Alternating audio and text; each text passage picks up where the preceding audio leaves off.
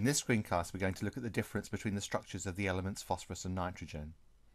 The white phosphorus allotrope exists as P4 tetrahedral molecules, with each phosphorus atom forming three single bonds.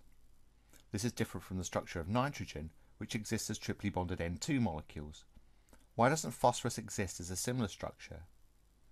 To answer this, you can construct an enthalpy cycle and use the bond enthalpies for the phosphorus-phosphorus single and triple bonds to predict the enthalpy change for conversion of tetrahedral P4 to dimeric P2.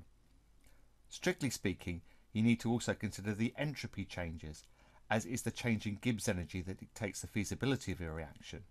But you can often get a good idea just by looking at the enthalpy changes, for which the data is generally easier to find. Looking at the enthalpy cycle, you can break down the conversion of P4 to P2 into two steps. In the first of these, the six single bonds in P4 are broken to form four phosphorus atoms.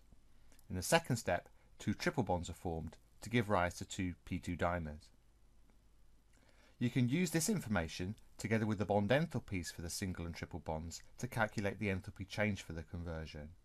The value you get is 210 kilojoules per mole, which means that the conversion of the tetramers to the dimers is a very endothermic process. This explains why phosphorus occurs as tetramers at low temperatures. At higher temperatures, entropy becomes more important.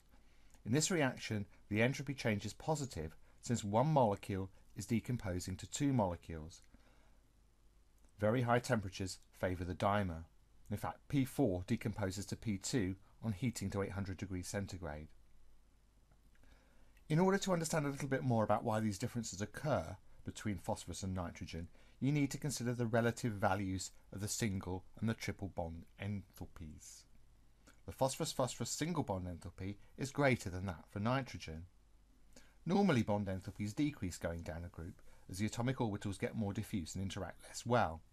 However, the value for nitrogen is anomalously low because the bond is weakened by electron-electron repulsion between the lone pairs which are forced to be close together.